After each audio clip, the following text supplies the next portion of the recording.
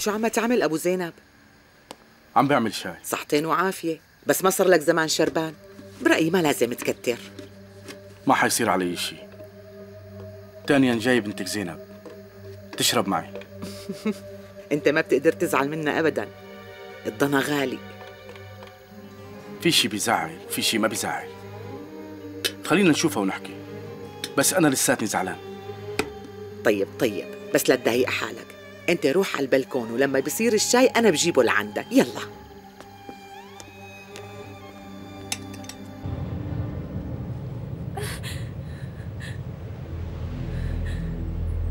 عجلي شوي الله يخليكي عجلي شوي. عم ساوي اللي بقدر عليه. طيب على انه مستشفى بدنا نروح؟ على المستشفى اللي بتشتغل فيها. ماشي. أنا رح خبر إياد.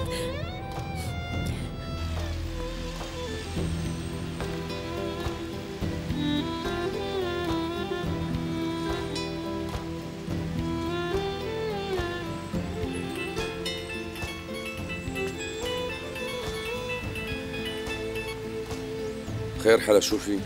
إياد ليلى تعبانة كثير. شو؟ شو صار لها؟ وقعت على الأرض وغميت. عم تسمعك شي؟ ما بعرف إذا عم تسمعني ولا لا. حالة ضلي عم تحاكيها لا توقفي ابدا. وجيبيه على المستشفى أنا ناطركم هون.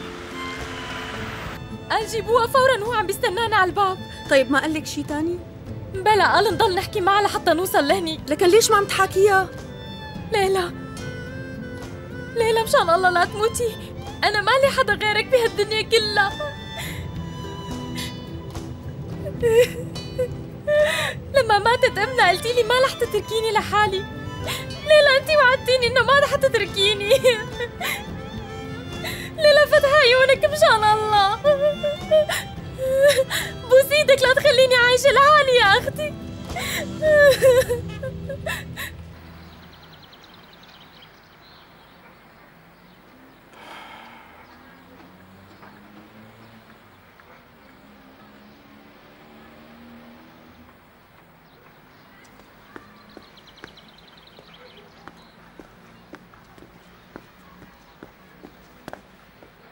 لهلا ما اجت زينب.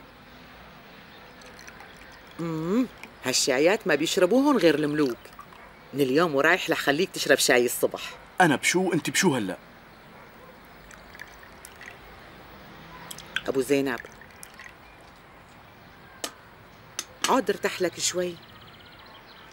طيب ما بدك تشرب شاي؟ يا أبو زينب هلا بتيجي البنت الوقفة هيك مو منيحة بشان صحتك. لما بقعد بتيجي ببالي. وبصير راسي يوجعني زيادة. كل ما عم نكبر عم تكبر همومنا. أحيانا بقعد بفكر فيها. يعني لو ضلت صغيرة قد هالكف. تتذكري هذيك الأيام يا أم زينب؟ آه معقول ما أتذكر. كنت تطلع بعيونها وتتمنى أنها تكبر بسرعة مشان تنادي لك بابا. كانت أيام حلوة. مم. طيب شوفي عمايلها هلا. إيه وبعدين معك يا زلمة. إلك لهلا ما بينت. هلا بتيجي. إذا قالت إنه هي جاية فمعناتها أكيد جاي وأنت بتعرفها. يلا. تعال. يلا.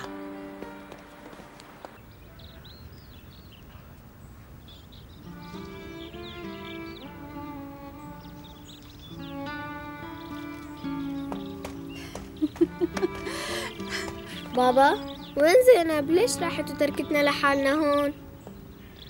عندها شغل. بعد شوي بتجي. يقبروني هالصغار شو حلوين. اشتقت لكم كثير منورين البيت يا عصافير. إن شاء الله تكونوا انبسطتوا. سيد رجا ليش راجعين بكير على البيت؟ زينب صار عندها ظرف. انت ليش جاي اليوم معطلة؟ قلت لحالي بيجي مشان رتب البيت شوي قبل ما توصلوا. أه خير ليش متضايقين حبيباتي؟ ليكون صاير شي.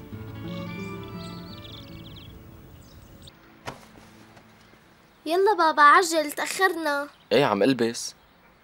بعدين انت رايحة لعند رفيقتك ليش مستعجلة هالقد؟ لأنه دغري بتعتم الدنيا. بتيجي بتاخدني وأنا لسه ما خلصت. طيب تعي اسمعي شو بدي لك. شو؟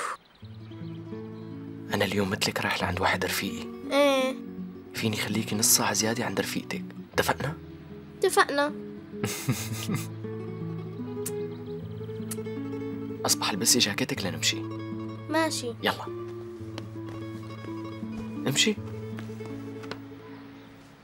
خليها وهي خليها وهي كمان خليها أمي.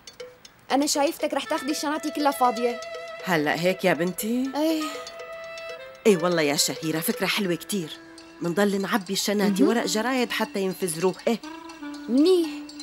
طيب وإذا عرف كريم؟ وقال لي هاتي لأحمل لك الشناتي وقتها بيحس إنه فاضيين وبيكشفنا. وأبصر شو بيعمل فينا وقتها. خرسي.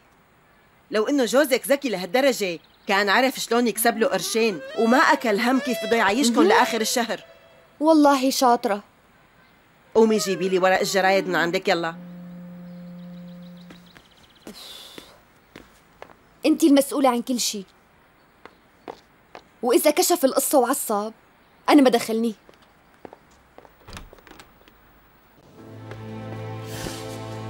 عن سنجات نعم دكتور. جايتنا مريضة. يا ريت تجهز الغرفة بكل الأدوات اللي قلت لك عنها. الحالة الأولية المريضة ضغطها مرتفع وأول شيء رح نعمله إنه ننزل ضغطها حاضر. ويمكن الوضع يتأزم أكثر من هيك. فيا ريت كمان تجهزوا غرفة العمليات لأنه ممكن تلزمنا بأي وقت. ماشي. مين المريضة؟ نفسها اللي حكيت عنها الصبح؟ إيه.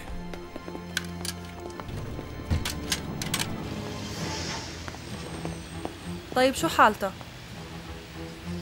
إياد هي مناوبتي وأنا المسؤولة هلأ.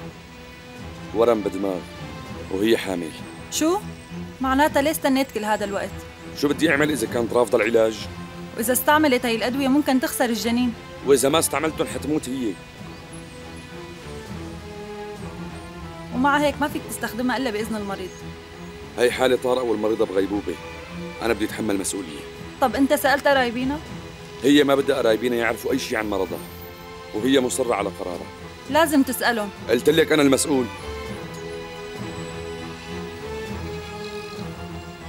هالمريضة؟ ليلى.